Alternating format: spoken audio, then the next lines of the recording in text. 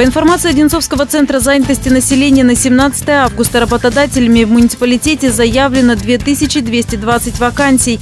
Наибольшее число вакантных мест насчитывается в медицинских учреждениях. По словам главы округа Андрея Иванова, это значительно больше, чем месяц назад. Представители Центра занятости также отметили, что сами безработные чаще всего интересуются вакансиями администраторов, инженеров, менеджеров, экономистов, охранников и юристов.